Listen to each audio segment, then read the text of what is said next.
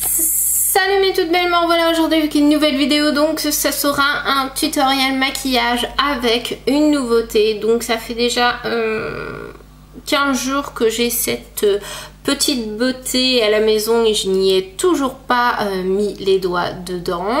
Donc je vous présente la palette Naturel Lust de chez Too Faced qui est vraiment une très très belle palette. C'est il me semble une palette qui est sortie si je me trompe pas courant avril ou début avril, je ne sais plus. Euh, du coup, je l'avais vu un peu sur le net, euh, deux, trois, deux, trois revues. D'ailleurs, Charlène Botti qui en parlait de cette palette. Et du coup, quand j'ai vu le maquillage qu'elle avait fait avec, en ayant vu sa revue, je me suis dit, il faut que je voie cette beauté en magasin. Et je l'avais vue aux Champs-Élysées, mais je l'avais pas prise pour autant. Et du coup, j'ai eu un bon anniversaire euh, il y a quoi Il y a 15 jours, 3 semaines de 30 euros parce que je suis carte gold. Euh, du coup, je me suis dit, euh, la palette va venir à pas cher du coup au final avec le bon d'achat parce qu'il faut savoir que cette palette coûte est vendue chez Sephora au prix de 59 euros. Donc moi, avec mon bon de 30 euros, du coup, les palettes m'est revenue à 29 euros. Et du coup, effectivement, quand je suis allée au Sephora pour aller la chercher, je me suis quand même longuement, euh, je l'ai quand même longuement regardé pour me dire est-ce que c'est vraiment une palette que je vais vraiment utiliser ou pas. Et c'est vrai que pour des maquillages de tous les jours, elle a vraiment des tons neutres. Vous avez des rosés, des beiges. Il faut dire qu'il y a beaucoup de rosés quand même dedans. Vous avez des, des, tons mat, vous avez des tons scintillants. Mais vous avez aussi ce qui est pratique, ce que j'aime beaucoup, le noir mat. Alors ça c'est pratique. Vous avez un bleu aussi qui est pas mal du tout. Donc, euh, voilà. Et puis bah, le packaging est vraiment trop trop trop beau. Et du coup dans ce tutoriel euh, maquillage on va aussi utiliser euh, la poudre qui va avec que j'ai aussi commandé sur le site de Sephora qui est la Natural Lust Bronzer donc c'est un bronzer mais ils disent satin ils disent fond de teint satiné de ton mais c'est plus un bronzer et regardez-moi cette beauté à l'intérieur donc lui je l'ai déjà utilisé une fois et je peux vous dire que le rendu est très naturel et très joli. Franchement, il n'y a pas à dire. Et c'est une poudre qui sent la noix de coco. Donc franchement, j'adore. Alors, nous allons tout, tout d'abord commencer notre maquillage comme d'habitude en appliquant une base à paupières, bien sûr. Donc ça sera celle de chez Too Faced. Et je vais venir mettre mes, petits sparadraps. Donc je reviens tout de suite. Alors avec la palette il était fourni aussi un petit livre Natural Lust avec six petits looks dedans. Donc je vous montre les différents looks si vous voulez voir. Et nous, du coup, je vais vous dire après ce qu'on va faire parce que moi je ne voyais pas très bien. Donc vous voyez, vous avez six looks. Et derrière, vous avez toujours un, petit message euh, du créateur euh, Too Faced. Donc vous avez la version américaine avec sa euh, signature. Et là en bas, vous avez la traduction. Donc des sept péchés capitaux capitaux, la luxure est certainement le plus fun. Voilà. Et donc euh, là, nous allons faire le, le hum, Fall in Lust with Me. Alors, ça veut dire euh, en français, c'est euh, suivre votre passion. Voilà, donc c'est celui-ci qu'on va faire, ce petit look-là, aujourd'hui. Alors, donc je vais tout d'abord prendre un, pinceau comme ceci. vous voyez, c'est un pinceau flouteur. C'est un... C'est un Yes Crease Contour Brush. Donc c'est le 251 de chez Primark. Qui est pas mal. Et du coup, je vais venir prendre la couleur Tech The Tech. Qui est... Euh, ce magnifique rose mat qui est juste là. C'est un rose... C'est un rose mat et en fin de compte, on va venir l'appliquer dans le creux de paupière vers l'arcade sourcilière. Donc, dans le creux. J'en prends pas mal quand même. Donc là, j'en mets dans le creux de paupière. On travaille bien. Donc il faut savoir que c'est une palette où les avis sont mitigés. Certains disent que, enfin beaucoup, euh, disent que c'est une palette où il y a des fards qui vont être plus que d'autres. Donc euh, voilà. Après, euh, je savais très bien la, qualité de la... Vous voyez, je remonte vers l'arcade sourcilière. Après, euh, je savais très bien la qualité de la palette et à vrai dire, bon, je ne l'ai pas encore utilisée, mais déjà, je regrette pas du tout de l'avoir acheté. Oui, bon, alors là, après, le fard qui est là, effectivement, après, c'est un rose très clair, donc faut pas s'attendre non plus à, à, quelque chose de oufissime.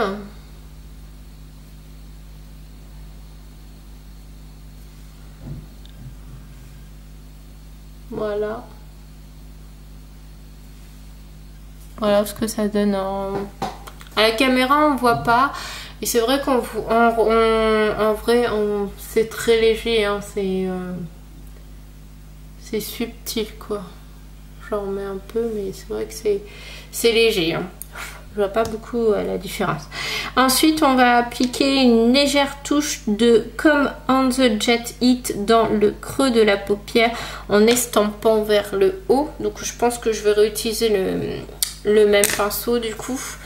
Euh, donc le euh, comme comme jet donc c'est un format aussi mais euh, beaucoup plus foncé. Voilà, qui est là. Donc euh, oui, effectivement, je peux reprendre le même pinceau parce que ça, c'est pas choquant. S'il est un peu plus foncé que l'autre du coup. Et on va venir le mettre, en fin de compte, il faut le mettre dans le creux paupière en estampant vers le haut. Bon voilà, donc vous l'appliquez comme ceci.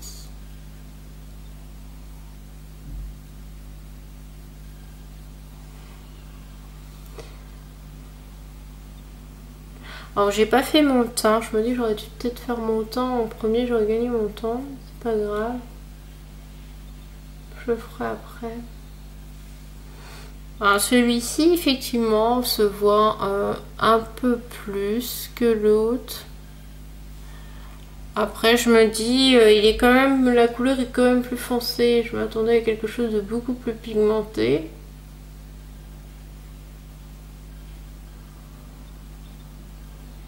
Donc vous voyez, j'estompe bien, je travaille bien la matière. Par contre, ils sont faciles à travailler. J'avoue que... Euh, je regarde là, sur le miroir. Je vois pas très bien, j'ai l'impression d'être à contre-jour. Là, ouais, voilà. Là, ça se voit, oui. Là, ça se voit, c'est pas... Je sais pas si vous voyez la caméra, j'ai mis les deux lumières. Je me demande si j'aurais pas mieux fait d'en mettre qu'une.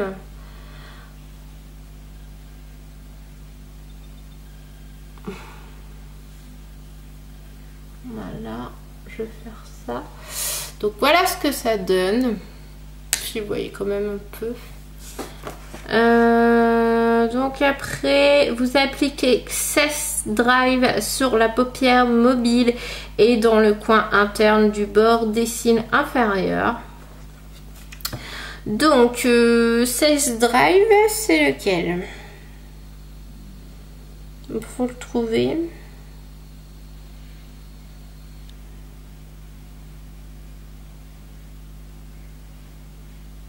Ah oui, d'accord, c'est celui-ci. Alors, c'est celui-ci. Sex Drive, il a l'air magnifique. Je vais venir l'appliquer avec un pinceau plat. Donc, on va en prendre un qui accroche. Genre celui-ci de chez Urban Decay, qui c'est un pinceau plat. Ne me demandez pas la référence, il est tellement vieux que c'était celui qui était fourni dans, la, dans les toutes premières Nikki qui sont sorties. Euh. Donc, je vais venir attraper la matière. Et du coup, il faut que je le mette euh, dans le coin interne du bord des cils inférieurs. Ah oui, en bas. Oui, d'accord, ok. en fin de compte, il faut que je vienne le travailler là. Je sais même pas si j'aurais pas dû faire un queue de crise pour que même que ça se voie un peu plus. J'ai l'impression que ça se voit pas beaucoup. Ah si, ça se voit. D'habitude, je fais toujours un, un cut crease. Habituellement avec le produit, vous savez, de Make Up Révolution, mais là, j'y ai pas pensé. Bon, en même temps, euh, Ça nous permet de faire un crash test hein, de la palette.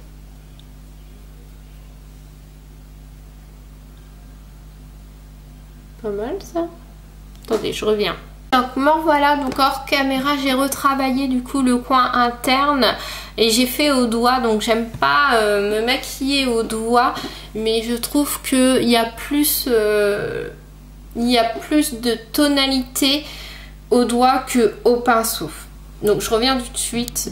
Alors me revoilà, donc j'ai mis avec un petit pinceau biseauté dans le coin interne à ras des cils euh, inférieurs comme il disait dans le livre. Donc euh, voilà ce que ça donne. Euh, et du coup maintenant on va ombrer le bord des cils supérieurs avec Pin and Down et estomper au bord des cils inférieurs. Donc ça veut dire qu'on va travailler maintenant tout le coin externe. Donc Pin and Dawn, Pin and Dawn c'est lequel? Bon ça a l'air d'un phare très très foncé. Euh, je cherche, je cherche Pin and Dawn. Ça c'est Show qui a l'air très joli, mais c'est pas celui-là qu'on cherche. Non attendez. Alors j'ai trouvé lequel, je pensais que c'était un phare irisé et non pas du tout, c'est un phare mat mais violet très très très foncé très intense donc j'espère vraiment que euh, va vraiment avoir de l'intensité et je vais venir je pense le travailler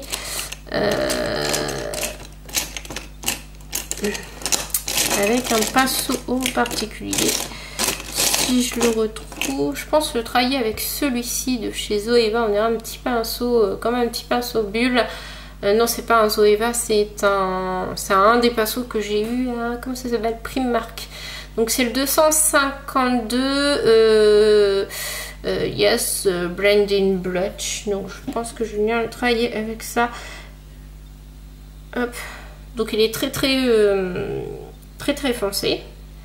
Donc j'espère qu'il est très très bien pigmenté pour travailler justement cette partie externe de l'œil.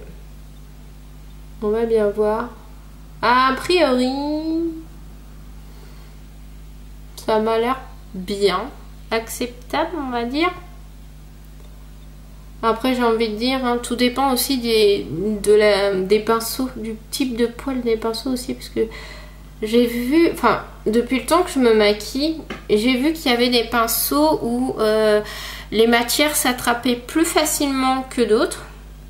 Donc il suffit que vous n'utilisez pas le bon pinceau euh, et ben vous avez l'impression que votre fard à paupières il n'est pas terrible. Mais si vous avez le bon pinceau, du coup là vous voyez déjà, et ben moi je trouve que ce fard là, le, le Pin and Dawn, il est quand même euh, assez pigmenté quand même et se travaille assez euh, facilement j'ai envie de dire. Donc du coup moi j'ai monté mon coin interne et je vais venir euh, le retravailler avec le pinceau 251, euh, celui-là où j'ai utilisé le Common Jet. Et je vais venir un peu fondre les matières ensemble, un petit peu les couleurs ensemble pour éviter que ça fasse une trop grosse démarcation, on va dire. Et je vais venir aussi le, un peu le flouter, mais légèrement avec le Sex Drive. Voilà, et là vous voyez que ça fait un, joli petit côté. Et je vais venir prendre un autre pinceau flouteur et je vais venir prendre la couleur euh, euh, Skill Rob euh, qui est un phare mat mais un peu couleur couleur chair un petit peu. C'est ce qui se rapproche de la couleur de ma peau. Et je vais venir légèrement en fin de compte nettoyer les bords parce que le, maquillage n'est pas vraiment foncé en soi. C'est quand même assez, assez naturel, assez joli c'est pas un truc euh, hyper vif. Hier j'ai utilisé une palette de chez Focalure, la Sunrise. Je vous ferai une revue dessus. Et j'avais utilisé un phare un peu dans les tons mauves mais j'avais pas estompé les bords. Et c'est vrai que quand j'ai euh, mis la photo sur Facebook sur le groupe où que je suis je trouvais que les bords n'étaient pas assez euh, travaillés. Ça fait faisait pas effet fumé. Là je trouve qu'on a un beau résultat avec cette palette. Franchement bah, elle est géniale moi je trouve hein. même s'il y a des fards qui manquent à mon goût après, j'ai utilisé que 4 fards. Donc, euh, mais c'est vrai que le premier fard, le rose, là, c'est dommage, je le trouve pas assez pigmenté. Mais bon. Après, moi, je trouve que... Je pense que je vais l'utiliser euh, tous les jours, moi, cette palette, parce que elle est vraiment très très belle. On peut faire des trucs jolis avec.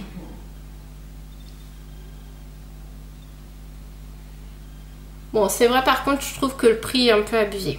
59 euros... Euh, quand on connaît la qualité des fards euh, et puis vous avez combien de fards dedans? Je sais même pas combien de fards vous avez bon vous avez je crois il y a un peu plus d'une trentaine de fards parce que vous avez quand même 5 lignes de 6 fards donc euh, vous en avez pas mal dedans mais euh, je sais pas je trouve que 59 euros il y a des fards qui sont pigmentés d'autres moins un peu moins après, je dis pas que la palette est pas du tout pigmentée. Je n'ai pas dit ça.